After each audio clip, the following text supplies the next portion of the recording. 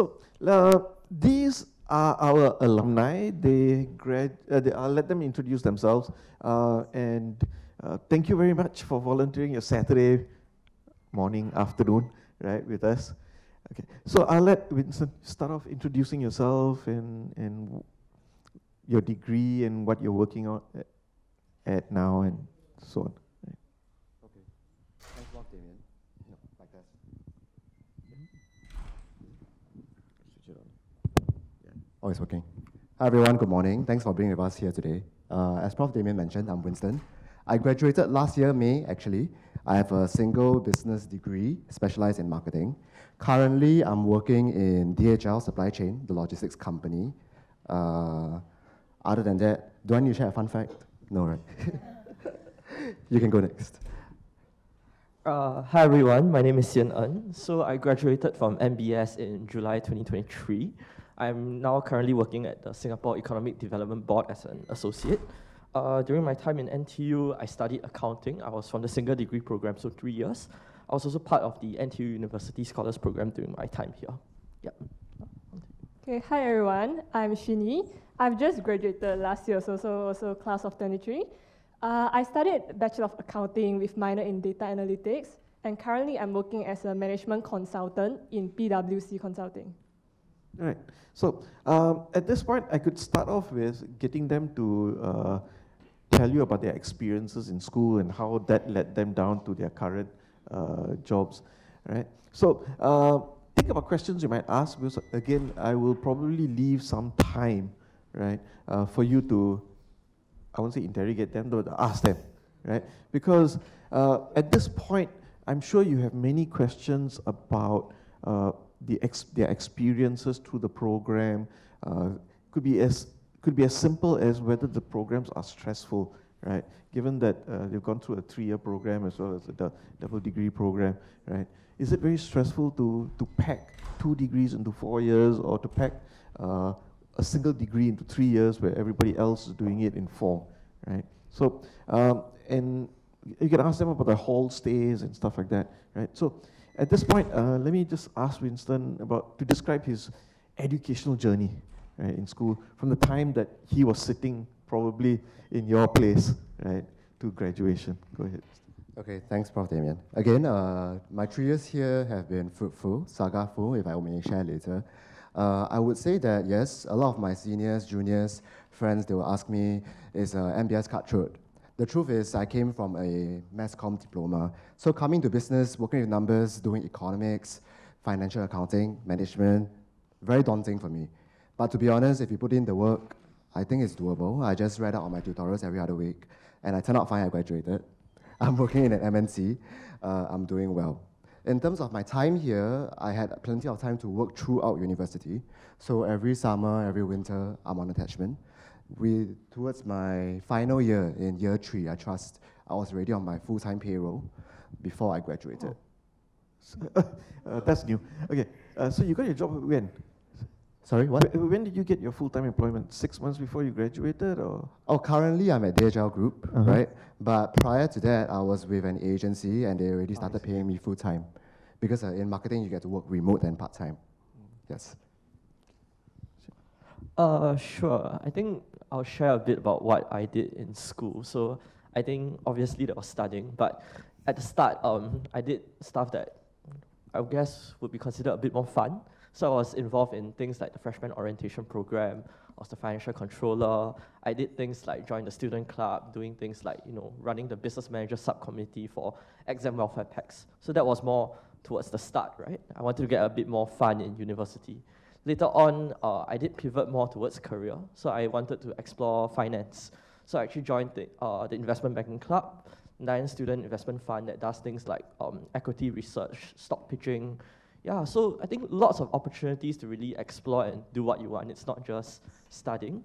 I think Prof. Damien also mentioned a part about, you know, three years being very cramped. I don't personally think so. Even though I did a three-year undergraduate study, I was lucky enough to, what do you call it, um, take on two leave of absence internships. So I took time off from school for two six-month blocks to do full-time internships. And I think it really helped to enhance my employability. Because when you're not just, you know, there for 10 weeks in summer, you're there for six months. You can really have more time to really go through projects with the team, really get to understand how the industry is like, whether it's something that you really want to do. And I think that was something that was beneficial for me that you know, I could do because the program was for three years. So I think our backgrounds are all very different. So I was from Malaysia, so I took an SI scholarship here to study, and my focus in uni was very different from there as well. So I was more involved in halls. I joined like hall jam bands where we have the chance to like perform inter-hall concert, and then I also joined uh, JCRC, which is the hall committee, where we hold like events for uh, our hall residents. So in the three years itself, I also had a chance to like in, do multiple internships.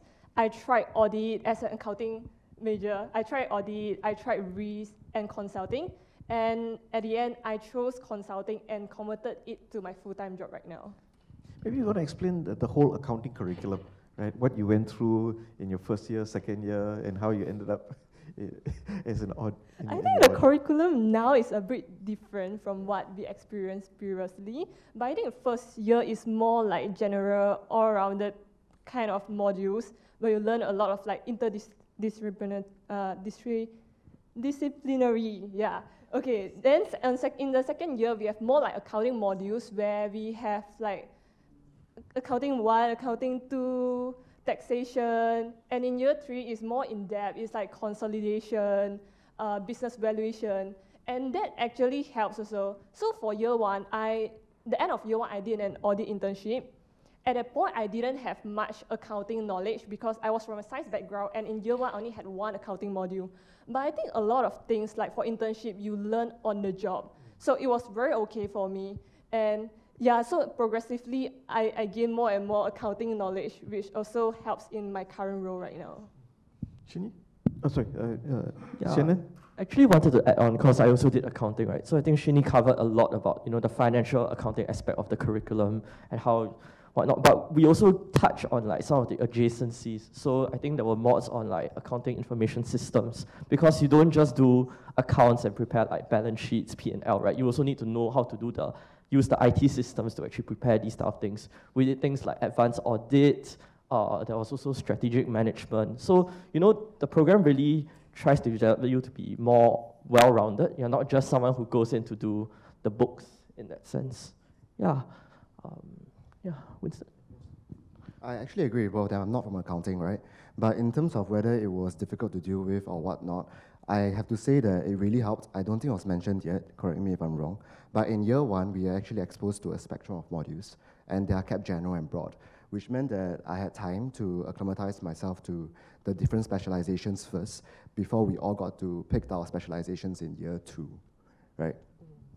And what made you choose marketing? I kind of knew I was meant for marketing when I came here. it was it was either marketing or I'm out. no, no. Yeah, but I did enjoy the mods, and uh, attending the classes really helped me decide what I wanted to do. And then maybe I ask the other two accounting uh, professionals here, right? Why choose accounting as the as the degree? I think for me, uh, it wasn't a very straightforward answer because I came from a science background. So in my high school, I did all the science like biology, chemistry, physics.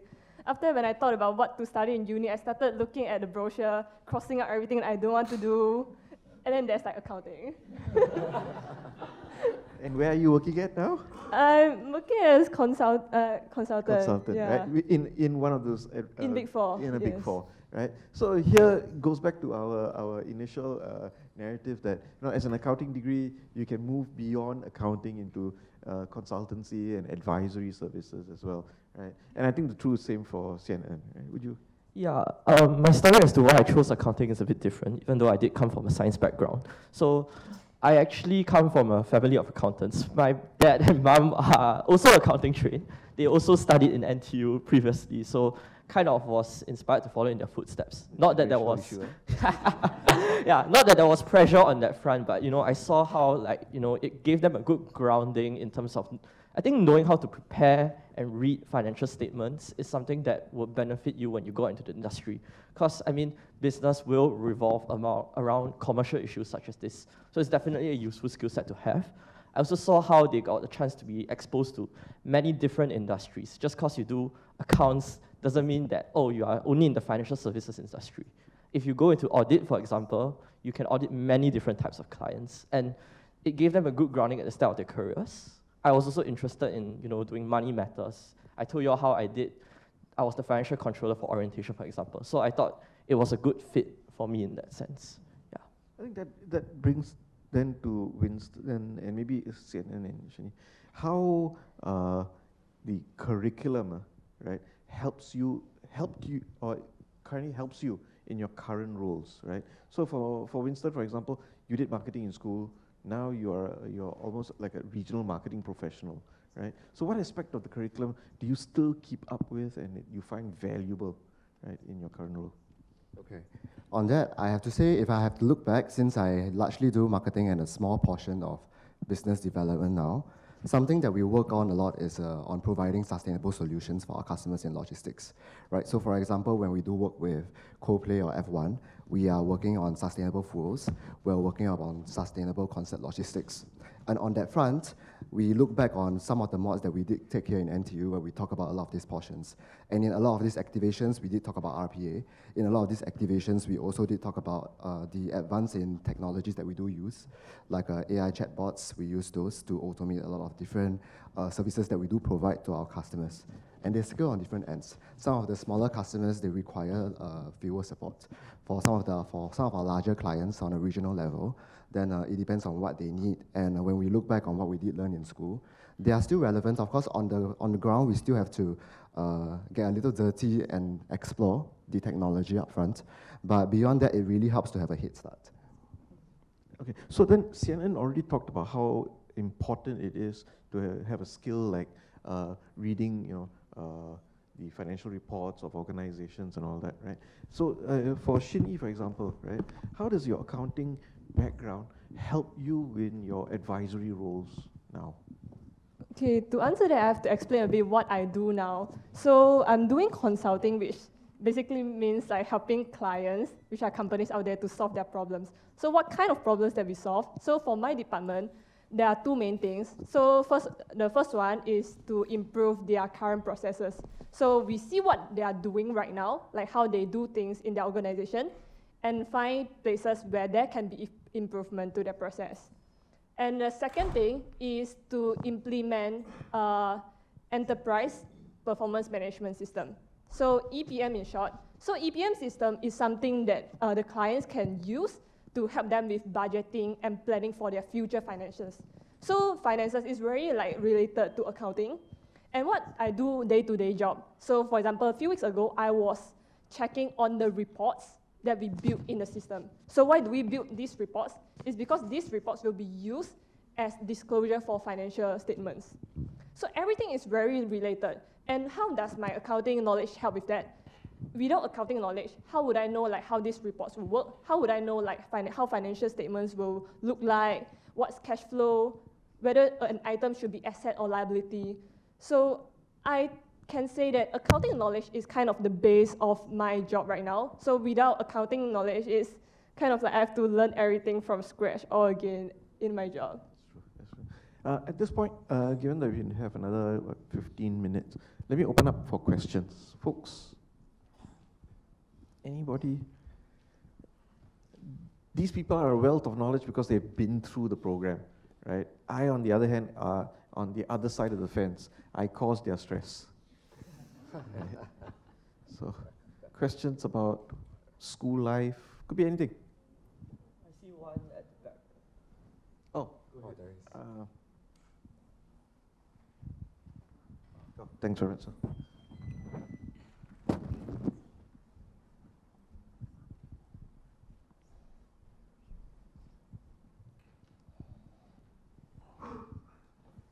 Thank you. All right. Uh, actually, this question is directed more at uh, Shyn Yi because uh, you said that you did a minor in analytics, right, along with your accountancy degree. Uh, so I was actually curious, did you manage to utilize these analytics skill sets in your role as a management consultant? Because I'm actually interested in uh, doing something related to both accounting and analytics. Or would you say there's another role that's more suited for that? You are inter- sorry, you're interested in both accounting and analytics. Uh, yeah, so just some background. I did an accountancy diploma, Okay. but I'm also interested in doing analytics as well because I have an interest in it. And um, yeah, I just like to know if you manage to utilize your analytics skill sets in your role. I think that depends on what kind of roles you want to go in the future. So when I took that, uh, in my mind, I wasn't sure what kind of career I wanted. So I was like, analytics is very useful nowadays, right? like everything is about AI, analytics. Having one more skill set is better than not having to me.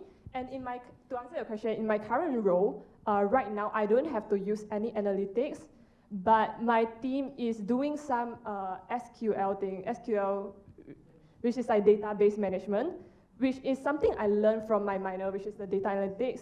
So if my team needs me to help with that anytime, I am able to do it because I have the knowledge and skill set, right? Yeah, so it depends on what kind of role you want to venture in the future. And I feel like even if you don't use the analytic skills in your job, it's always good to have that knowledge. Like we don't have to do AI jobs, but it's everyone here know what's AI, what's like blockchain, right? Yeah. Hope that answers your question. Yeah, that's a good question. Anybody else, folks?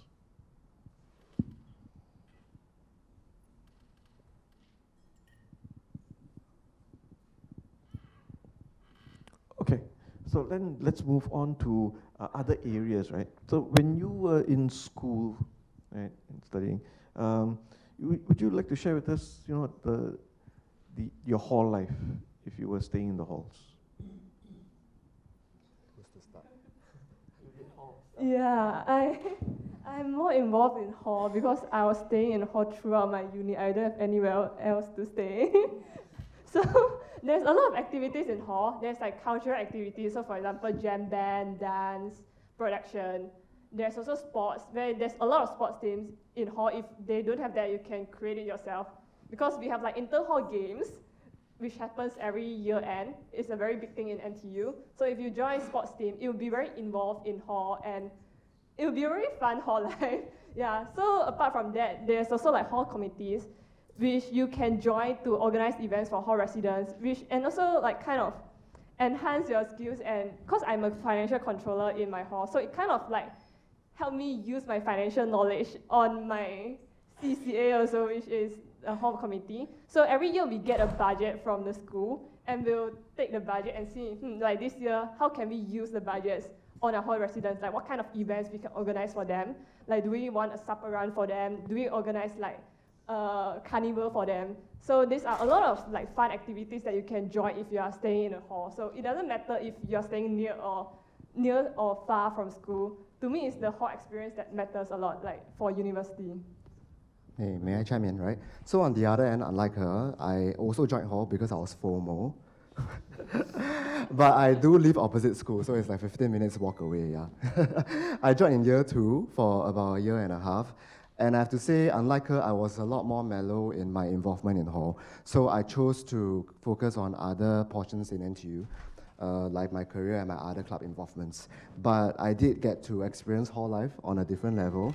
And things that I enjoyed was particularly bonding with my hall mates. We were a lot more chill, so we did work together into the middle of the night. We went on cat hunts together that was planned by the hall council, where we took photos with cats and posted them to win prizes. So these were things that were a little more, I think, less time uh, consuming, but still fun and enjoying for me. So that was great for me. Well, it's interesting that you all have these kinds of experiences in addition to the workload, right? In school. Right. So, uh, any any any thoughts on your club activities that you all would have uh, participated in? Oh. Okay, I guess I can share a bit on this. lah. So I was in the USP student club, right? So I talked about how I was a business manager and doing all of that.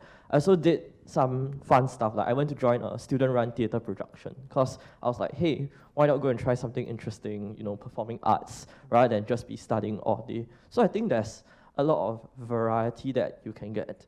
I think everyone here has talked a lot about hall, and maybe just to bring across the point that Hall is not just one source of CCAs.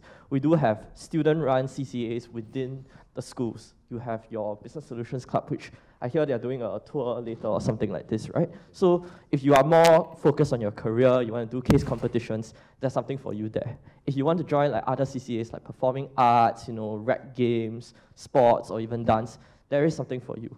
So wide variety of activities that you can really choose how you want to split your time on.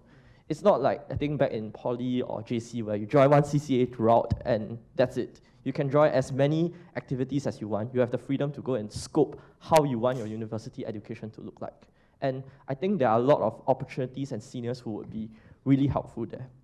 In terms of the more career-focused ones, right, I mentioned I joined the investment banking club because I was trying to explore what a career in finance could look like. So we will have all these seniors who are really experienced, you know, they went out to the banks, they learn how it's like in the industry. They will come back and actually do weekly sharings with us, you know. They will even do things like, how should you actually tweak your CV a bit so that um, the employer, when the recruiter comes to you, you can actually stand out from the rest? How could you even like perform in your interviews? What are the types of questions? So you get to meet other like-minded individuals who are also gunning for the same thing. You can help each other out. So I thought that was something that was really useful as well. Yeah, that's a good one. So I think the, the theme here that I'm getting at is about doing well, which is your academics, and, and also doing good, right? So you were volunteering with, uh, all three of you were volunteering with uh, outside, you know, of uh, your academics in student clubs and stuff like that, right? Uh, would you like to share a bit more with the uh, with the audience, right? Uh, all you, the volunteering activities with the community, right, that you had experienced. I can take one step at this first. Okay, uh, I did help out not so much externally but more internally. So during my time, I was actually a peer tutor for one of the accounting modules, uh, AC 2101 if I remember correctly. So this is like a module that you usually take in year two. It's a more intermediate level one. So you cover things like leases, deferred taxes, financial assets, etc. So they actually invite us to actually come back and help our juniors. We ran a weekly one and a half hour session where, you know, we will just go through some of the questions that were explained in class. If you, for example, are really lost and you're not sure, you can come and approach students or seniors who have just gone through the mod. We will be here to actually give some tips and tricks, really sit down and help you out. Lah. So that's how I spend my time. I actually quite enjoyed it. I think it's good to also be able to help out your juniors, right? We all know how hard modules can be. But I don't think you are alone in going through that. You have your seniors who will actually help you out. You have your peers along the way. Funny thing, starting to look like I'm the dark horse because uh, I wasn't the brightest kid in the house. I was peer tutored, and never, and never a peer tutor. But on an external level, within clubs and societies, uh, but, but did double down on what he said. I think we have a lot of clubs and societies in NTU. When I first joined in year one, I basically lived at everything I saw. I joined union orientation, I joined corporate liaison uh, to do sponsorships. There were so many options, and one thing that I really wanted to mention was that we do have industry specialization clubs. Right, so uh, on that level, whichever specialization you intend to go into, there's a specialization club for that to bridge you to the working industry. And uh, there are opportunities within the club, and yes, we did do uh, volunteering activities uh, beyond it all. So in my year, I recall we did work together with Willing Hearts, and uh, we went to uh, help out in the kitchen. And all this food and packing eventually went out to the needy that need them. Then on an individual level, the school does support you in many ways to do your own fundraiser if you want. In my last year of university, I did manage to do a little fundraiser for Children's Cancer Foundation. Yes, where I auction off Ray-Ban's shades on TikTok Live. Trying to uh, keep a hold on the social, uh, social media, yes. If y'all are wondering what the, this peer tutoring is about, um, we have a few uh, selected uh, courses or modules where the students, uh, where the topic is typically challenging, right? And in these courses, many of the students uh, would appreciate a certain amount of uh, additional help, right? And for those, for those uh, modules, what we do is we get students like, you know, Hsien En to volunteer they don't have to be the brightest spark in the in in in the uh, in the course, right? But they would have to have a passion, a love to help their fellow friends, right? Which is the, the, the necessary uh, aptitude to be a peer tutor. And what these peer tutors do is they spend about uh, an hour a week or an hour and a half a week, right, with their peers, right, tutoring them on the topic, right. So, and this helps to level up everybody, right, in uh, the program. Now, that is not the only curriculum support that we give. Um, for those who are coming in um, this, let's say in, in August this year, many of you would have been out of school for some time, right? especially the returning NS men who have not touched mathematics in about two years. Right? So mathematics skills, as you all know, degrade very fast. Right? This quantitative way of thinking degrades very fast. So when you come in, we uh, have this uh, a math refresher program, right? Just to get you to start thinking in that quantitative way, because many of our first year subjects, right, require that skill starting out, right?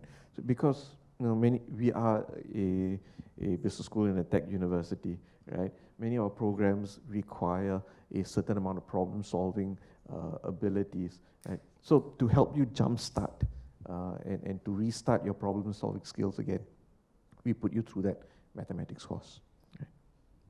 Sorry, just to jump back a bit on when Hsien En mentioned peer tutor, I suddenly thought of something. So I think mentoring is very a very strong culture in NBS. So we have a lot of like mentoring uh, program. So we have a student-run club called NBS Mentoring Club, yes. where they match like like first year or second year students who are still clueless to a senior who is already have uh, internship experience or specializes in the interest of what like what you are uh, wanting to find out. So kind of it's like a one-to-one or one-to-two student-to-student mentoring. So you get a better idea of like what a career would look like if you are like going uh, to this path or like how can you like excel in academics or CCAs or like school life in general. There's also other mentoring programs. So I think is uh, they have this thing where uh, industry professionals comes back as mentor for students. So I joined two where they really paired me because at the time I was very interested in consulting. So I actually had a consulting mentor who is really working for like five years and another who is already like CFO. So they actually I, I had a few sessions with them to talk like, oh, so what would it be walking down the path? Like, what's your experience? This kind of thing. So I think it's this is a very uh, plus point of NBS, and it was one of the many reasons I ended up in where I am right now. Yes, uh, thanks for adding that point back in. I think I wanted to talk about NMS, but I completely forgot. right? I, am not sure about us, but in year three, when I was about to graduate, yeah, I, I did become a mentor for MMS. And uh, I did take on two juniors of mine who were in year one back then. So how the process goes is I'll talk to them, I think, once every two to three weeks.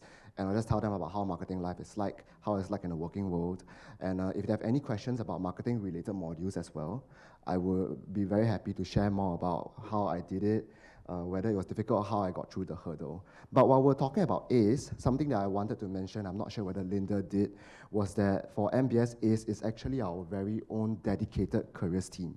So what that means is that compared to other universities, and I've asked all my friends this, they don't actually have it. They do have their generic university careers team, but for NBS ACE, it's dedicated to us NBS students only.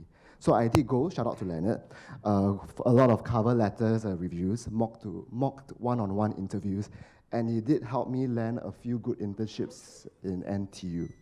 Another shout out would be the work study program that they did launch that I attended. I was part of their pilot program.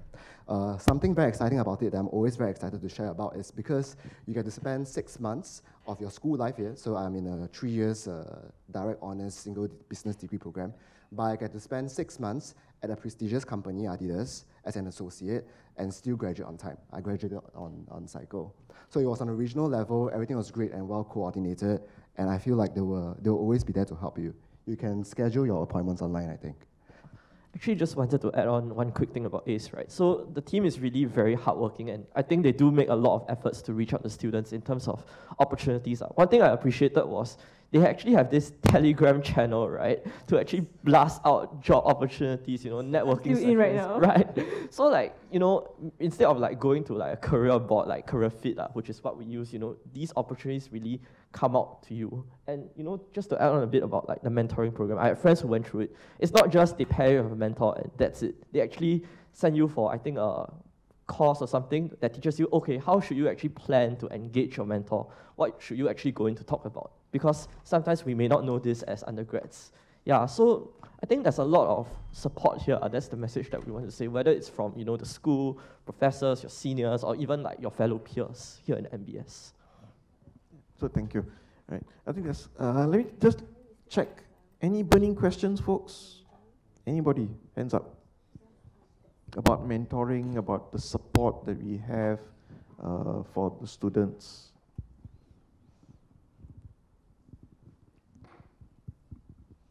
No. Yep.